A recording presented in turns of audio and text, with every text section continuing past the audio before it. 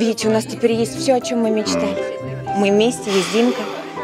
Есть отель, любимая работа. Я так люблю тебя. Я люблю тебя. Меня зовут Роман Полищук. Я хотел бы купить этот отель. Мне нужна земля под отелем, на которую у вас оформлена долгосрочная аренда. Об этом не может быть и речи. Это не просто отель, это наша жизнь. София не продается. Все. Что мне делать? Для начала не дрейфить и нанять самого лучшего адвоката.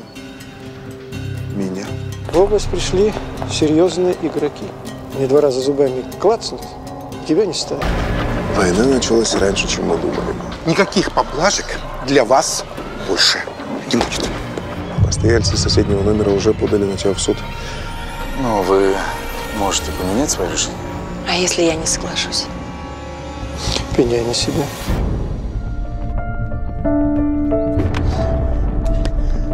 Муж умер!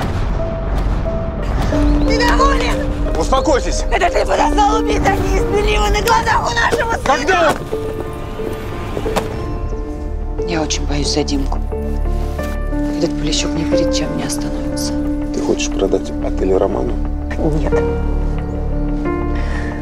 Найди мне покупателей. Начните новую жизнь. Найдешь себе работу директором, администратором. Работы, диплом фельдшера, которому уже 15 лет. Простите, у нас международная сеть. Другие стандарты качества и обслуживания. Вы нам не подходите, извините.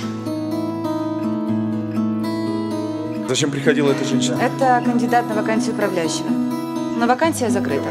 Так возьмите ее на другую должность. Татьяна Коваленко, наша новая младшая горничная. Нормы у нас высокие. На обеденный перерыв час. Опоздание больше трех минут – штраф. За пререкание – штраф. За плохую уборку – штраф. Я правильно понимаю, если ты горничная, то ты не имеешь ни на что права? Вы здесь человек новый. Здесь регулярно проводят проверки персонала. Вы на очереди. С этой минуты ты мой личный враг. А давай-ка я тебе напомню, какие комиссионные мы с тобой взяли за то, что ты убедил Татьяну уйти из гостиничного бизнеса. Ты себе даже не представляешь, во что ты вляпалась. У вас есть шанс вернуть бизнес, вернуть Софию.